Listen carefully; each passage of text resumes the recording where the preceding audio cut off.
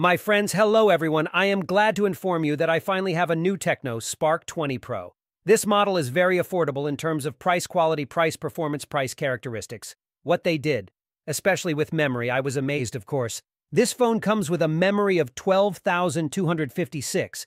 That is even better than some flagships. Some flagship models start with 8,256 memory, not to mention about the iPhone 5 and 5 Plus not Proshka there is generally a memory of 6128, and here 12256, and this phone costs less than $200. I said that in 20 you will probably see Tecno more and more often your friends know, because they make such offers that are really difficult for a person to refuse. Coming to the store, seeing this, seeing how much there is here and what it offers this phone for little money will naturally make a choice in favor Tecno. Let me tell you how much it costs now and in what colors it is sold. It seems to me that I took the most interesting, the most exclusive, the most unique color, so friends, attention. Now, such a phone with a memory of 12,256 cost $180. But I got it even cheaper. It didn't cost about $140 in total. There is also a version 8 with 8 GB, also 256 gigs. Let me show you now how it looks. Live, what are these guys doing? I just don't know. They're just scattering all the competitors. It's something incredible. And here we see, of course, a masterpiece, Helio G99. They really love this processor Tecno company, just loves they do, do do. It's just as planned that they already have so many models coming out on Helio G99 that I've already lost count. Main camera 108 megapixels front, 32 megapixels, there is an NFC module. You know, this phone purely hits by characteristics, by paper characteristics, by quantity. That is, this is, if you read it characteristics on paper, it beats any iPhone really purely stupid in terms of characteristics on paper, in terms of quantity megapixels, in terms of amount of memory, in terms of battery, purely in terms of numbers it wins. Well, Almost everyone watch. This is a white and orange box inside. My phone is packed in a bag, and here there is also such an advertising, as it were, information film of 108 megapixels 32 full HD screen 120 Hz. And the advantage of this screen is that it is not AMOLED matrix. And now many are looking for especially phones with IPS screens because many people don't like how OLED's show is. Many don't. I like that the eyes get tired after ALED, and there are fewer and fewer phones with IPS screens. And this is exactly the case when, in principle, good characteristics, not high cost, and the usual familiar IPS screen 12 gigabytes operatives, plus more for 9 you can expand it. Helio processor, G99 5000 battery, and 33 watts fast charging. I removed the film underneath. Unfortunately, there is no protective film pasted, but the screen here is so smooth that is like a smooth, slippery one already has some good oleophobic prints. That is, the guys applied some sort of good coating to the screen that, according to it, well, it's really, really nice to work with such a screen.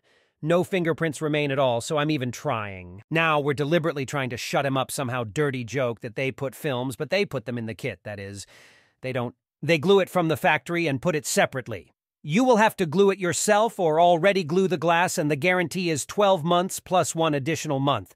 We have some kind of documentation like this silicone transparent case included. Look, by the way, this color is the one I was talking about, and this coating is also not plastic, is not glass. It's also like eco leather.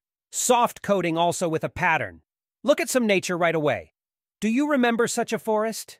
Well, it looks really beautiful. The color is also a nice green shade, beautiful. There are three cameras camera modules similar to iPhones, pro versions of the type with the camera icons located in such a triangle. Of course big, but it looks super luxurious and this end is like a frame. It's also glossy. That is, it also has this shimmers with a shimmer creates the effect of the high cost of the smartphone. Also green. Damn guys, that's how they are always have some interesting colors and they are not afraid experiment. Look, what an unusual block. Yes, Maybe someone will say that it looks comically similar on the iPhone, but it's just stupidly beautiful. It looks really nice. Although some may not like it on the right, the power button has a scanner, the volume rocker is very thin. I would make it wider, but it's not very comfortable thin, and somehow already as if sunken a little, as if it had been used for several years already dented. I would do it so that it protrudes more and is a little wider at the top. This is the second speaker at the bottom speaker connector for charging microphone. The headphone jack is preserved on the left, and the SIM tray is also included in the package. This is such a healthy, charging 33 watts, really big. and of course a paperclip to open the SIM tray and a USB cable type. See white color. It is located here. They hid it. You need to pull it here, this label. And here it is. The cable is located. That is, in principle, the delivery set is quite good. There's a fast charging yes cable. Yes case yes. Film additional warranty for about a month. Not yet only missing only headphone SIM tray here supports the installation of two SIM cards. Once two, and you can also install an additional micro SD flash drive to expand the memory. That's all 108 megapixels. Ultra sensing written coding is really very nice. Soft, like leather backpack flat in front too. The screen is flat, it's only slightly rounded. It has just a little bit around the edges. Well, well, I turn it on, turn it on, turn on the new Spark 20 Pro Sun, and this can be removed for now. Delivery set. Well, in a case, let me show you the case is transparent so you can see from behind. This beauty protects the cameras. See here, there is a special influx on the case so that the cameras do not scratch the cutouts. Everything has a good quality case, but over time, transparent cases, it happens that they turn yellow with this cover. Most likely the same thing will happen. So I would sing and buy some kind of black case so that it doesn't turn yellow so the whole box can be put away. My phone is already started up. You know, by its characteristics, this phone is very important to me, reminds me of a phone that I already reviewed. It's Infinix Hot 40 Pro. Yes, perhaps these are the characteristics almost exactly the same. It is very similar, and even in design they are somewhat similar in price, by the way, too. Well, the phone turned on. The diagonal here is 6.78 inches. This is an IPS matrix of 120 Hz and full resolution HD plus 2460 by 1080. Yes, we see here that of course the frames could it would be even smaller, especially the upper frame is quite thick. The lower frame, the chin is just so specific, and the front camera itself too, if you pay attention. Well, she's pretty like that too. There is a large hole, and outwardly, of course, it does not live up to the name of the flagship, but on the other hand, sides up to $200. Why not? Look what Samsung produces. They still have a drop for $200. Yes, there in some Galaxy, a 34 still drops like this. Well, in general, this is the design. Let me tell you now, I'll show you in comparison with some other popular phones too. So here I also have a recently released phone from the POC company. Of course, it's shorter. It's our POCO M6 Pro. This is how it looks. It feels like it's somehow wider. This is some kind of narrow phone. This is how it looks. They look side by side. Well, basically, the dimensions are the same, plus or minus, but you see the Tecno has a bigger hole, and of course it will give you a bigger chin, but it's also worth it. But it's cheaper by about thousands. How many thousands of ours? Probably if you look at these prices in official stores, then thousands of ours are cheaper. But here I probably even like the backrest of Tecno, more than that of Poco. M6 Pro is the next phone you can use. It's 23, FE phone, which costs about two and a half times more than this. Tecno is also in green, but look how different the green color is here. Here it is so more saturated. Here it is very pale blue. They look like this. These two phones are nearby, that is, Tecno, from which I conclude that Tecno is quite large model. It is long, very long, narrow, and therefore, well, probably for you it will take some time to get used to it if you had small phones before. After all, the diagonal here is like this already, like a real fable. I became interested. I actually took out the S23 and look. Ultra is even a little shorter than this Ken That is, it is very long. In general, one of the longest modern phones. Its length is almost 17 centimeters, 168 and 6 mm. Well, that is, damn it. Almost 17 centimeters width 76 and 6 thickness 8.4 thickness, by the way, is normal. Even more or less, it is still protected according to IP53 standard. That is, it is light protection against splashes of dust from some small sand like this, has a face unlock function, and like everyone else, now also has Tecno Infinix. They, of course, they copy and spy on whoever you know, Apple, and that's why some kind of dynamic appears here island called Magic Ring when you unlock it. It does such a cool, cute animation, it looks for your face, and that's it, quickly unlocked, and there is also a topic here like replacing sea wallpaper locks. That is, you see that now every time I have new wallpapers. Well, it's true, there are only three of them that change but this can also be configured in the settings. There is also a fingerprint unlock scanner. That is, once you touch, everything works quickly now. Even budget phones have learned that these scanners are not stupid, so that they respond quickly all about five years ago. They were all so laggy with these scanners in budget phones. What it would have been better not to use this unlock at all. So, about Android here, unfortunately for now, the 13th Android may be updated in the future, but for now, it's you Android. Why, unfortunately? Because the 14th one has already been released. And of course, I would like a new version on the new phone. Android, but in general, there is nothing wrong with that, of course. On the 13th Android, all applications will also be, it will take some time to install. It will be updated now. Hose 1 is installed version 135 if he gets the 14th Android. Over time, it will be very cool, and I think that they will have many of their users will be pleased with this solution. Virtual memory is added to 3 to 6 or 9 GB is the expansion RAM by default out of the box. The addition of 6 GB is already included, but I think that need because I generally have a 12 gig version. I think that this will even be enough. There is no need to add by processor. As I already said, here we have Helio G99 is a long familiar processor in in general. It is now probably the most popular in NOI in the price segment, up to 20,000 rubles. A bunch of models run on NM, two powerful Quark 76 cores and energy efficient 6 nanometers. The 5G process technology does not support, but it does support 3G, 4G, Wi-Fi 5 underscore underscore video core MG57 and fast UFS 2.2 memory. This phone has everything with the NFC module. Excellent. It has an NFC module, but its sensor is shorter than five touches. I thought that they had already moved away from this and started making 10 touch sensor on all buttons. But no, back to what it was two years ago, they had sensors for five touches, and this time too, five touches, sixth, seventh, I try to add, but it doesn't work for more expensive phones that cost 200. The sensor already perceives 10 simultaneous touches, only here five.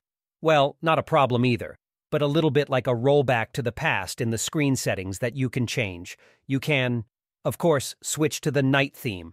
You can adjust the brightness manually or entrust this work to your phone, then it will adjust the brightness itself depending on the lighting. The sensor is built in here in the top. This is the top one. You can tell the frame if you look at it with a flash somewhere here. You can, somewhere here they are. These sensors are located here. They are here. They are here. You can see them a little. Yes, I don't know. It's visible. No, well, it should be a little bit, can see them just a little, and there is also a flash on the front camera. This is also a definite feature about these phones is that for some reason they always have a flash on the front camera. And whenever you want, turn on the flashlight to illuminate something for yourself. Yes, you can turn on the flashlight 360. Then there is not only a rear flash like on a regular phone, but there is a rear flash. Yes, you turned it on to highlight something for yourself, you turned it off. Also, turn on only the front flash to highlight something with it. And also, you, you can turn on two flashes at once and you will have both the rear flashlight and the front flashlight glowing. That is both sides at once it will illuminate and you can go. Carry it like this and it will shine to the right and to the left. Can you imagine?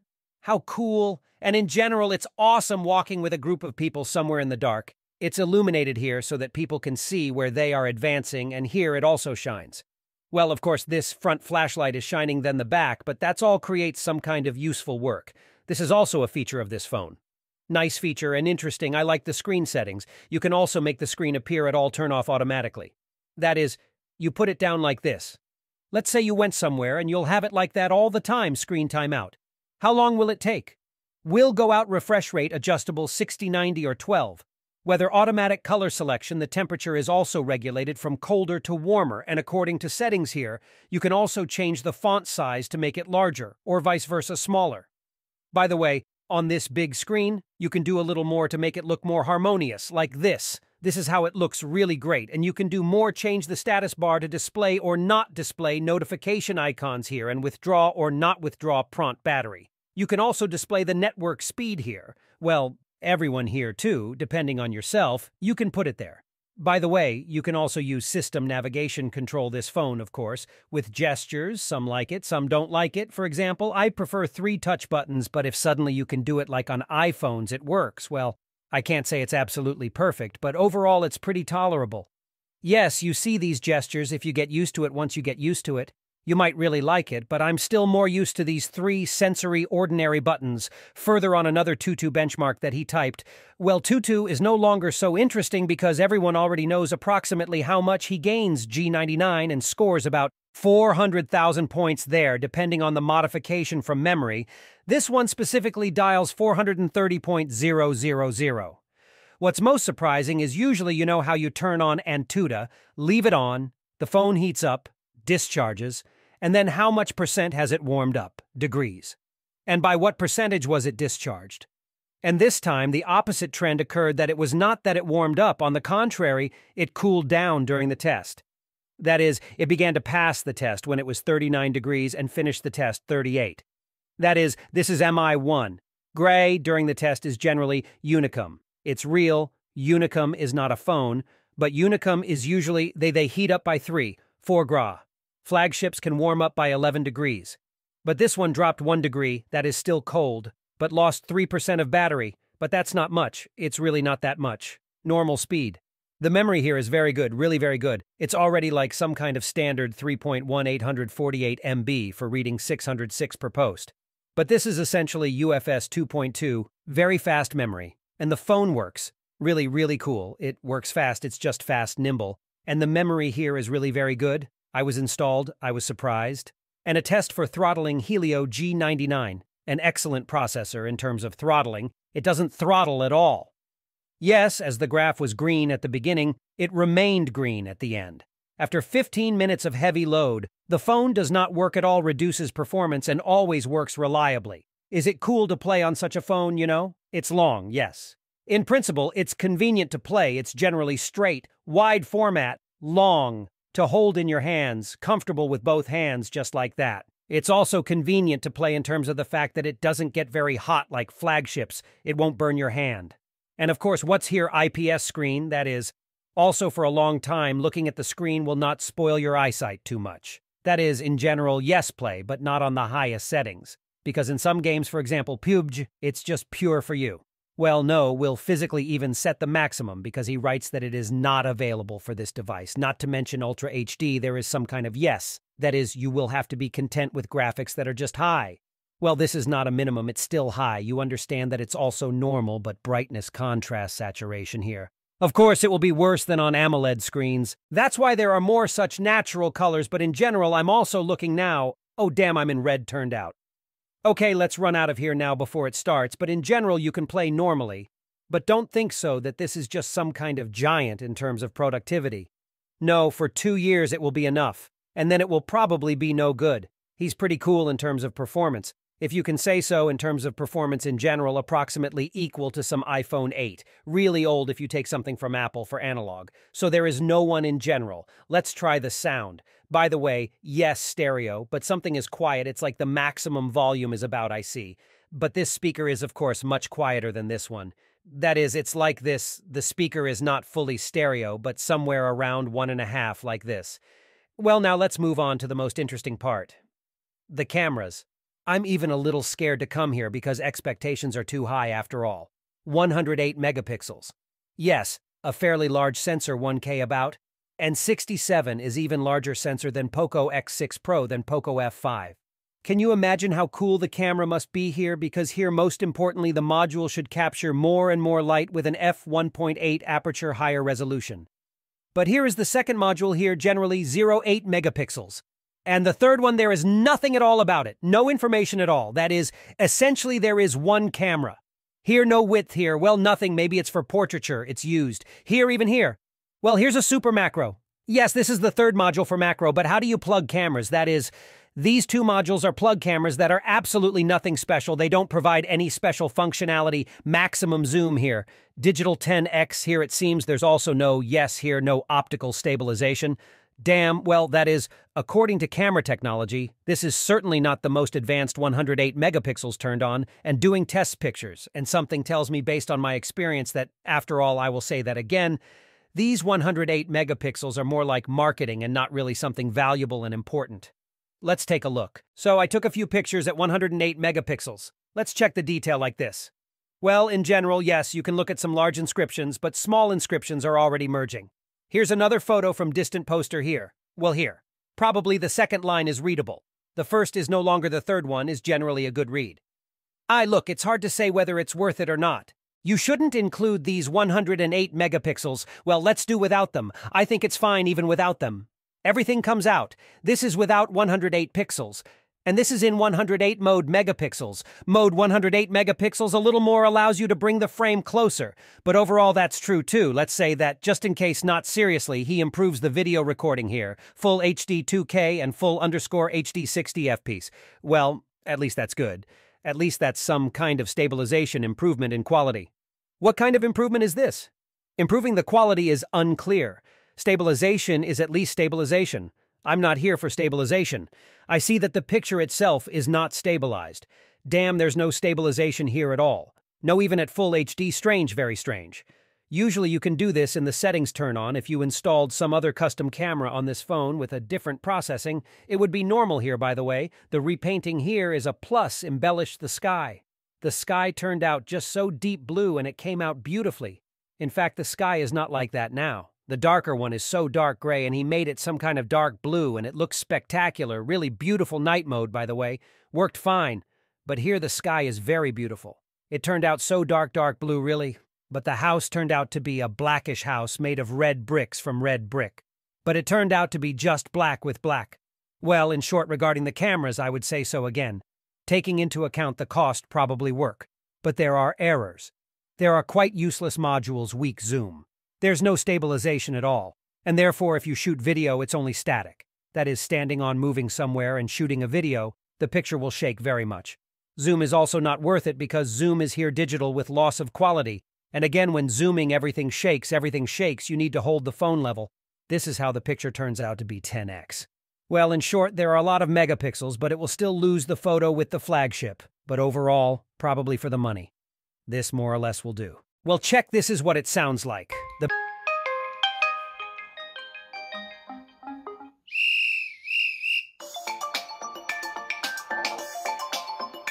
battery is exactly 5,000, not removable, of course. And on average, you spend about a day and a half with it, especially if you use the mode to save battery energy. Here, the curtain is divided into two parts. That is, on this side, we will pull out notification. On this side, we pull out the icon switches. That's convenient also did this now. Many people did it. Are they doing? Is there an eye protection mode in these icons? Well, these icons are also, you can also adjust it to your liking. Here are some to delete. Some are the opposite ad, actually. In fact, that's probably all I can say about this phone.